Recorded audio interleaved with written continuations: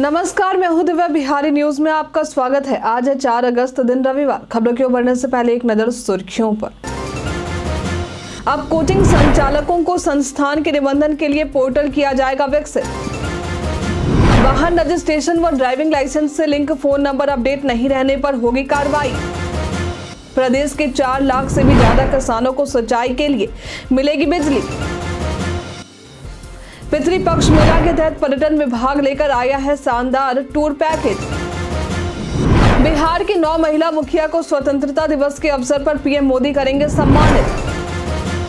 आज भारत और श्रीलंका के बीच वनडे मैच का दूसरा मुकाबला। अब चले बढ़ते हैं अब तक के 25 बड़ी खबरों की विस्तार से।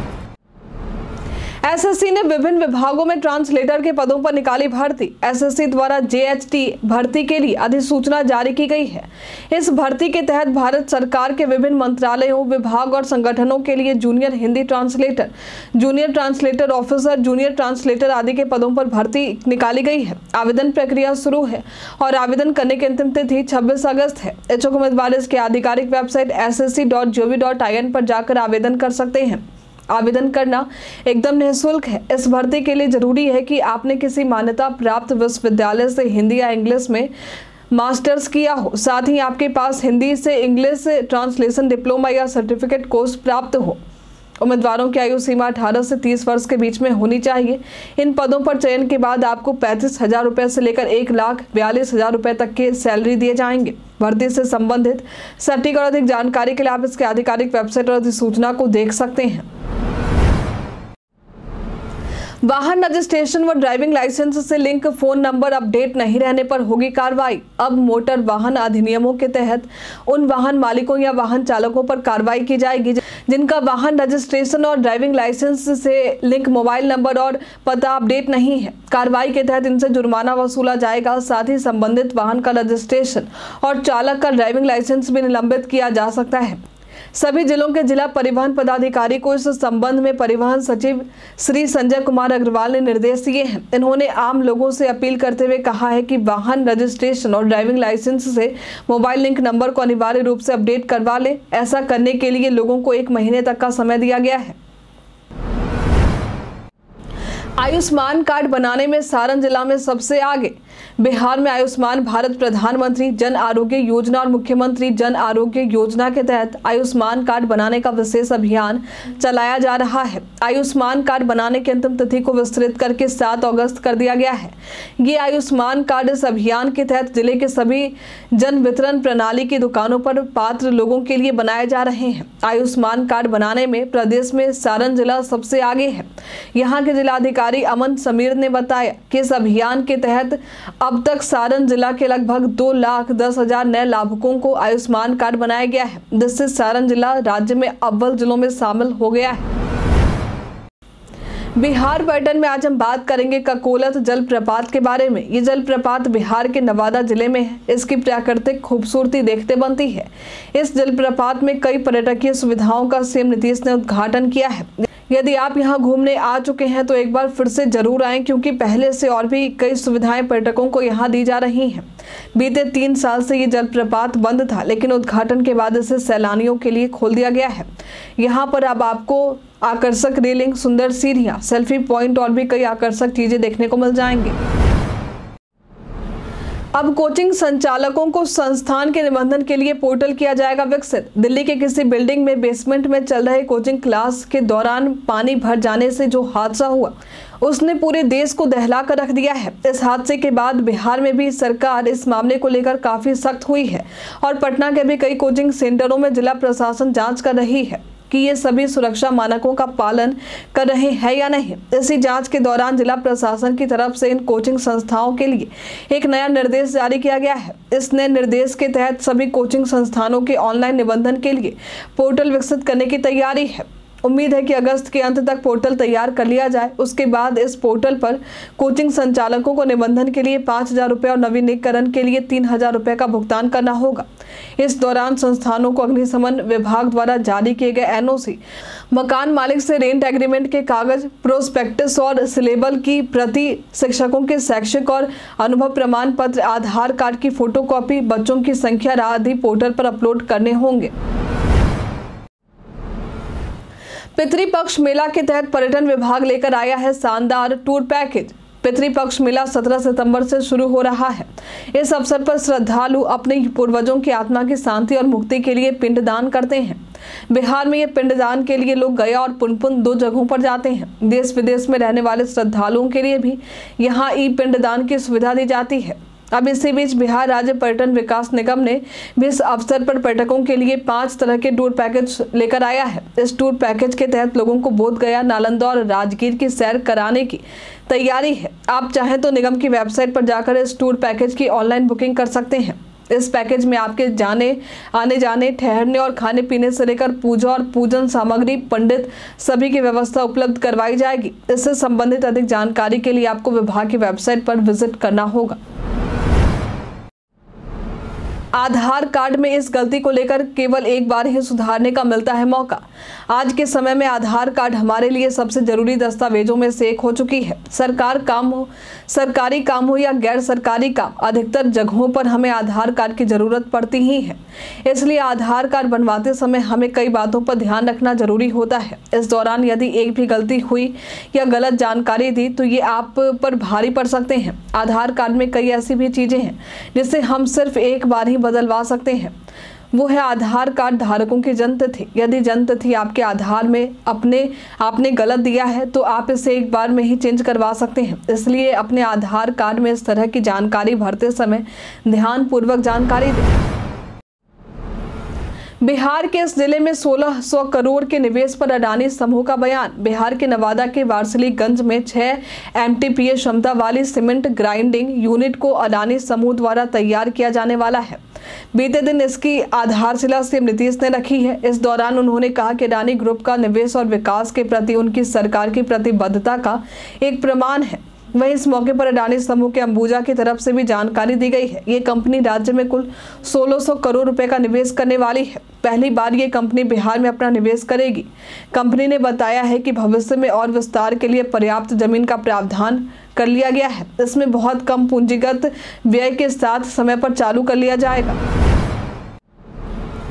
ज्ञानदीप पोर्टल के माध्यम से ऑनलाइन स्कूल आवंटन की बढ़ी तारीख। ज्ञानदीप पोर्टल के माध्यम से ऑनलाइन नामांकन प्रक्रिया की समय सीमा में शिक्षा का अधिकतर अधिकार अधिनियम के तहत शैक्षणिक वर्ष 2024-25 में किया गया है। बच्चों को 7 अगस्त तक नामांकन लेने के लिए स्कूल का आवंटन किया जाएगा। पंजीयन के लिए पहले से पांचवी तक में नामांकन के लिए समय सीमा इकतीस जुलाई तय की गई थी और बच्चों को स्कूल का आवंटन 2 अगस्त तक किया जाना था, जिसे बढ़ाकर 7 अगस्त तक कर दिया गया। प्रदेश के चार लाख से भी ज़्यादा किसानों को सिंचाई के लिए मिलेगा बिजली कनेक्शन। चार लाख अस्सी हज़ार किसानों को बिजली कनेक्शन दिया जाएगा। ये लक्ष्य बिहार सरकार ने निर्धारित किया है। अपने इस लक्ष्य को पूरा करने के लिए बिजली कंपनी किसानों के दरवाजे पर जाएगी। इसके लिए गाँव से लेकर पंचायत तक विशेष शिविर का आयोजन किया जाएगा। लोगों तक ये बिजली कनेक्शन इसलिए दिया जा रहा है क्योंकि राज्य सरकार की कोशिश है कि हर खेत तक सिंचाई का पानी पहुँचे। किसानों को ये बिजली देने का फैसला चौथे कृषि रोड मैप के तहत लिया गया है। आगामी तीन वर्ष में इस लक्ष्य को पूरा करने की बात कही गई है। बिहार की नौ महिला मुखिया को स्वतंत्रता दिवस के अवसर पर पीएम मोदी करेंगे सम्मानित। बिहार के आकांक्षी प्रखंडों से स्वतंत्रता समारोह में शामिल होने के लिए इकसठ दंपतियों को मिले निमंत्रण के बाद अब बिहार की नौ महिला मुखिया को भी निमंत्रण मिला है। ये सभी महिला मुखिया इस अवसर पर विशेष अतिथि के तौर पर बुलाई गई हैं। यहाँ ये सभी स्वतंत्रता दिवस के दिन अपने उत्कृष्ट कार्यों के लिए पीएम मोदी द्वारा सम्मानित किए जाएँगे। जिन महिला मुखियाओं को इस समारोह में आने के लिए निमंत्रण मिला है। उसमें पूर्वी चंपारण की सुनीता देवी, बक्सर से रेखा देवी, खगड़िया से आकांक्षा बसु, जहानाबाद से सिमरन राज, रोहतास से श्वेता सिंह, समस्तीपुर से बेबी देवी, कटिहार से भारती कुमारी, अररिया से रूबी सोहाब और सारण से गुंजन देवी का नाम शामिल है। नोट कर ले रेलवे का ये नंबर। खाना मंगवाने से लेकर कई शिकायतों का होगा समाधान। ट्रेन से यात्रा करना सभी वर्ग के लोगों के लिए काफ़ी किफायती और आरामदायक सुरक्षित होता है। रेलवे भी यात्रियों की सहायता के लिए कई तरह की सुविधाएँ देता है। अब रेलवे व्हाट्सएप नंबर के ज़रिए भी लोगों को सुविधा मुहैया करवा रही है। यदि आप ट्रेन में बैठे बैठे अपने लिए गर्मा गर्म खाना मंगवाना चाहते हैं तो आपको व्हाट्सएप नंबर आठ सात पाँच शून्य शून्य शून्य एक तीन दो तीन पर मैसेज करना होगा। इस नंबर के ज़रिए ये आपको खाने पीने की कई सुविधाएँ मिल जाएँगी। वहीं यदि आपको ट्रेन में किसी तरह की समस्या या परेशानी हो रही है तो आप रेलवे पुलिस के व्हाट्सएप नंबर नौ चार आठ शून्य आठ शून्य दो एक चार शून्य पर कॉल मैसेज करके शिकायत भी कर सकते हैं। यश चोपड़ा के फ़िल्म में काम करने को लेकर मनोज वाजपेयी का बयान। बिहार में से अपना संबंध रखने वाले बॉलीवुड अभिनेता मनोज वाजपेयी अपने फैंस के बीच काफ़ी पसंद किए जाते हैं। अभी हाल में मनोज वाजपेयी ने यश चोपड़ा की वीर जारा फ़िल्म को लेकर अपनी बात रखी है। उन्होंने शाहरुख खान और प्रीति जिंटा के साथ काम किया था। इससे लेकर उन्होंने कहा कि फ़िल्म में उनके किरदार के कुछ और सीन्स भी होने चाहिए थे। उन्होंने बताया कि वीर जारा में मैं काम करने का मेरा अनुभव अच्छा रहा। लेकिन हकीकत यह है कि मैंने फ़िल्म के लिए तीन दिन दिल्ली और फिर एक दिन अमृतसर में शूटिंग की थी। चार दिन में मेरा काम खत्म हो गया था। मैं फ़िल्म में मेहमान था। यश चोपड़ा और टीम ने मुझे अच्छी इज़्ज़त दी थी। मैं इस बात से खुश हूँ कि यश चोपड़ा जैसे व्यक्ति की फ़िल्म में काम करने का मौका मिला। बीएसएनएल 5G सर्विस की टेस्टिंग की कर रहा तैयारी। जियो और एयरटेल जैसी बड़ी टेलीकॉम कंपनियों ने जब से अपने रिचार्ज प्लान महँगे किए हैं, तब से कई लोगों का झुकाव बीएसएनएल की तरफ़ हुआ है। हालाँकि अभी तक कई जगहों से इसके स्लो इंटरनेट और टावर के प्रॉब्लम देखने को मिल रहे हैं। लेकिन अब बीएसएनएल यूज़र्स की यह समस्या भी जल्द ही खत्म हो जाएगी, क्योंकि बीएसएनएल अपनी 5G सर्विस की टेस्टिंग कर रहा है। बी एस 4G सर्विस को रोल आउट करने के साथ ही 5G पर भी खास ध्यान दे रहा है। इसे लेकर टेलीकॉम मिनिस्टर ज्योतिरादित्य सिंधिया ने भी एक वीडियो शेयर किया है। बिहार में मौसम ले रहा तेज़ी से करवट। बिहार का मौसम तेज़ी से करवट बदलता दिखाई दे रहा है। बदलते मौसम के साथ लोगों को उमस वाली गर्मी से राहत मिल रही। आज भी प्रदेश में कई जगहों पर अच्छी वर्षा की संभावना है। वहीं किशनगंज, पूर्णिया, नवादा, गया और अररिया में किया दो स्थानों पर भारी वर्षा को लेकर येलो अलर्ट जारी किया गया है। आज प्रदेश में अधिकतम तापमान कुछ जगहों पर बत्तीस से चौतीस डिग्री और कुछ जगहों पर चौतीस से छत्तीस डिग्री रहने की संभावना जताई गई दो लीटर शराब के साथ दो तस्कर हुए गिरफ़्तार। शनिवार की सुबह एक कार सहित दो लीटर शराब को किशनपुर पुलिस ने जब्त किया है। इस दौरान पुलिस ने दो तस्करों को भी गिरफ़्तार किया। इस मामले को लेकर थाना अध्यक्ष प्रशांत कुमार राय ने जानकारी दी है। उन्होंने बताया है कि सूचना मिली कि एक कार में एनएच के रास्ते शराब की खेप अररिया की तरफ़ आने वाली है। इस सूचना के आलोक में मामले के सत्यापन के लिए गश्ती शुरू कर दी गई। आसनपुर टोल प्लाजा के नज़दीक कई वाहनों की चेकिंग भी की जा रही थी। इसी दौरान शराब तस्कर गिरफ्त में आए, साथ ही गाड़ी में 943 बोतल नेपाली देसी शराब बरामद किए गए। पैंसठ मोबाइल फ़ोन और 27 सिम कार्ड के साथ पुलिस की पकड़ में आया साइबर अपराधी। इन दिनों साइबर अपराधियों से बचकर रहना आम लोगों के लिए काफ़ी चुनौती खड़ी कर रहा है। आए दिन ये लोग लोगों से ठगी के लिए नए पैतरे अपना रहे हैं। साइबर पुलिस भी हमें इन साइबर ठगों से बचने के लिए आगाह करती रहती है। इसी कड़ी में पुलिस ने ऐसे साइबर अपराधियों को धर दबोचा है जो भोले भाले लोगों को लालच देकर उनके पहचान पत्र का इस्तेमाल कर बैंकों में खाता खुलवा, उनके अकाउंट में पैसे ट्रांसफ़र करने का काम करते थे। इस मामले में पुलिस ने एक युवक को ट्रॉली बैग के साथ गिरफ़्तार किया है। इसमें से पैंसठ मोबाइल फ़ोन और 27 सिम कार्ड भी बरामद किए गए हैं। पूछताछ के बाद ये पता चला कि ये मोबाइल फ़ोन चोरी के हैं। इसका साथ ही पुलिस को देखते ही फरार हो गया। मीडिया में चल रही खबरों के मुताबिक इन साइबर अपराधियों का गिरोह झारखंड में साइबर अपराधियों को चोरी की मोबाइल देता था। इस मामले में पुलिस आगे की छानबीन कर रही है।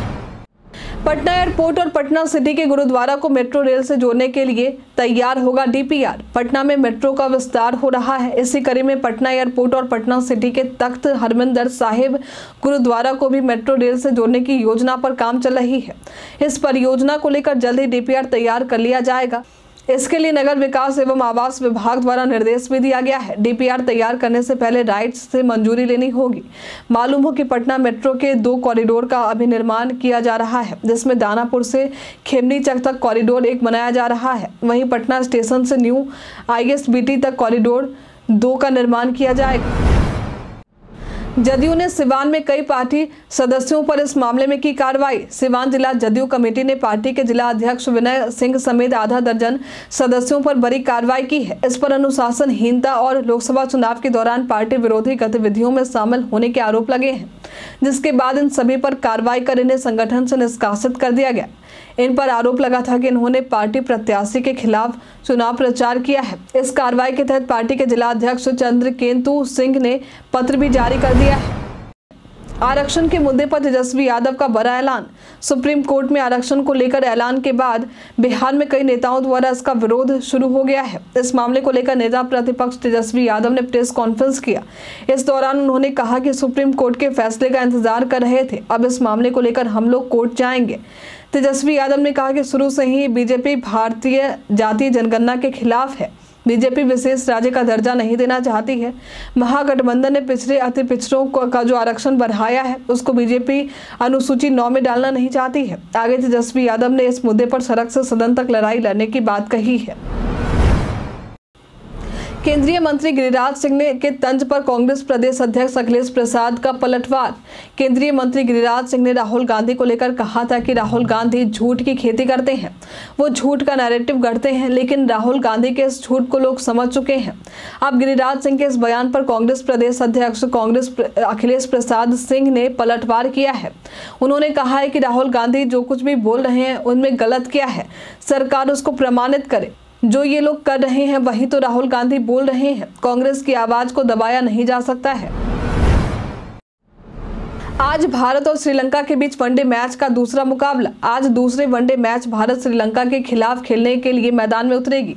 ये मुकाबला कोलंबो के के आर प्रेमदास स्टेडियम में होने वाला है। दोनों टीमों के बीच ये मुकाबला भारतीय समय के अनुसार ढाई बजे शुरू होगा। आपको बता दें कि पहले वनडे का मुकाबला दोनों टीमों के बीच काफ़ी रोमांचक देखने को मिला था। दोनों ही टीमों के बीच ये मुकाबला टाई होकर खत्म हुआ है। हालाँकि आज देखना है कि भारतीय टीम श्रीलंका को पछाड़ने के लिए क्या रणनीति अपनाती है। आपके मुताबिक दोनों टीमों में से किसका पलरा भारी रह सकता है? हमें कमेंट में लिखकर ज़रूर बताएँ। कई कारणों से दर्ज है भारत के इतिहास में आज की तारीख। आज के दिन वर्ष उन्नीस सौ उनतीस में अभिनेता, गायक, निर्देशक किशोर कुमार का जन्म हुआ था। आज के दिन वर्ष 1935 में गवर्नमेंट ऑफ़ इंडिया एक्ट 1935 को ब्रिटिश राजशाही की मंजूरी मिली थी। आज के दिन वर्ष उन्नीस सौ छप्पन में देश का पहला परमाणु अनुसंधान रिएक्टर अप्सरा शुरू हुआ था। आज के दिन वर्ष उन्नीस सौ सड़सठ में विश्व के सबसे लंबे चिनाई बाँध नागार्जुन सागर का निर्माण हुआ था। आज के दिन वर्ष 2008 में सरकार ने भारतीय जहाज़ रानी निगम को नवरत्न का दर्जा दिया था। आज के वायरल खबर में हम बात करेंगे ईवीएम में धांधली को लेकर किए जा रहे दावे के बारे में। टाइम्स एक्सप्रेस नाम के यूट्यूब चैनल पर ईवीएम को लेकर गलत दावा किया जा रहा है। यहाँ वीडियो के थंबनेल में ईवीएम धांधली और सरकार गिरने से संबंधित बातें कही जा रही हैं, लेकिन आपको बता दें कि इस दावे में कहीं से कोई सच्चाई नहीं है। ईवीएम में इस तरह की कई, कोई धांधली नहीं हुई है। पीआईबी फैक्ट ने भी इसे शेयर करते हुए इसे पूरी तरह से फर्जी बताया है। इसलिए इस तरह की खबरों को शेयर करने से बचें। स्वतंत्रता दिवस के अवसर पर अमित शाह ने हर घर तिरंगा लगाने की की का अपील। इस स्वतंत्रता दिवस के अवसर पर एक बार फिर से हर घर तिरंगा की शुरुआत की जा रही है। हर घर तिरंगा की शुरुआत स्वतंत्रता दिवस को खास बनाने के लिए हो रही है। इस अभियान के तहत आगामी 9 से 15 अगस्त तक अपने घरों में तिरंगा लहराने की अपील केंद्रीय गृह मंत्री अमित शाह ने की है। साथ ही उन्होंने कहा है कि इसका सेल्फी हर घर तिरंगा वेबसाइट पर अपलोड करें। उन्होंने अपने सोशल मीडिया एक्स प्लेटफॉर्म के ज़रिए कहा कि हमारा राष्ट्रीय ध्वज तिरंगा त्याग, निष्ठा व शांति का प्रतीक है। हर घर तिरंगा अभियान आज़ादी के नायकों को याद करने, राष्ट्र प्रथम का संकल्प लेने और राष्ट्रीय एकता को बढ़ावा देने का माध्यम है। हम प्रतिदिन आपसे पाँच ऐसे ज़रूरी सवाल पूछेंगे और उसका जवाब बताएँगे जो कि बीपीएससी बिहार पुलिस दरोगा समेत एस एसएससी जैसे अन्य प्रौद्योगिकी परीक्षाओं में काम आएँगे। सवाल इतिहास, बिहार स्पेशल विज्ञान करंट अफेयर्स और भूगोल से रहेंगे। पूछे गए पाँच सवालों में आपने कितना सही उत्तर दिया है, ये हमें कॉमेंट में लिखकर ज़रूर बताएँ। तो हमारा पहला सवाल है, हाल ही में यूपीएससी की नई चेयरमैन कौन बनी है? ऑप्शन ए है प्रीति सूदन ऑप्शन बी है मेघना हलावत ऑप्शन सी है आरती मिश्रा ऑप्शन डी है मनोज सोनी। इसका संयुक्त है प्रीति सूदन। हाल ही में भारत कहाँ पहले बहुराष्ट्रीय वायुसेना अभ्यास तरंग शक्ति 2024 की मेजबानी करेगा? Option A Assam, option B है केरल, ऑप्शन सी है तमिलनाडु, ऑप्शन डी है गुजरात। इसका सही तरह तमिलनाडु। हाल ही में किसने भारतीय आभूषण बाज़ार में प्रवेश करने के लिए इंडिया को लॉन्च किया है? ऑप्शन ए है विप्रो, ऑप्शन बी है अडानी ग्रुप, ऑप्शन सी है रिलायंस ग्रुप, ऑप्शन डी है बी इसका संयुक्त अडानी ग्रुप। बिहार के किस स्थान पर जून पंद्रह में हुमायूं और शेरशाह सूरी का युद्ध हुआ था? ऑप्शन ए है बक्सर। ऑप्शन बी है चंपारण। ऑप्शन सी है चौसा। ऑप्शन डी है मुजफ्फरपुर। इसका संयुक्त है चौसा।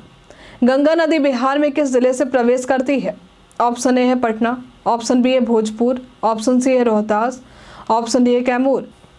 इसका सही उत्तर है भोजपुर। बीते दिन हमारे द्वारा पूछे गए सवाल का आप लोगों में से बहुत सारे लोगों ने अपना जवाब हमें हमारे कमेंट सेक्शन बॉक्स में लिख कर दिया था। जिन्होंने हमारे द्वारा पूछे गए सवाल का जवाब जिनके नाम है।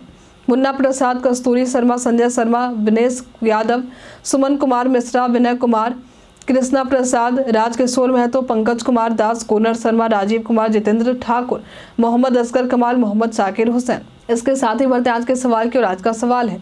दिल्ली की घटना के बाद बिहार में कोचिंग संस्थानों के निबंधन पर आपकी क्या राय है? हमें कमेंट में लिखकर ज़रूर बताएँ।